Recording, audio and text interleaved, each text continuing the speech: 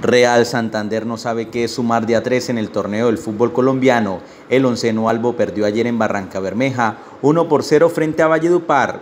Desafortunadamente tenemos muy poca efectividad, creamos muchas opciones de gol, si no estoy mal hoy fueron seis opciones de gol y no fuimos capaces de concretar una sola y obviamente aunque llevamos apenas tres fechas nosotros, obvio ya preocupa no, no ganar. El equipo del departamento entre salidas solo suma un punto y es último en la tabla general de posiciones. El hecho de, el torneo, enfrentar el torneo es sumar los tres puntos en casa y, y aruñar algún punto de visitante, así que sí ya me empieza a preocupar. Trabajar esta semana y tratar de buscar la victoria en la próxima fecha es el objetivo del cuerpo técnico de Real Santander desde ya.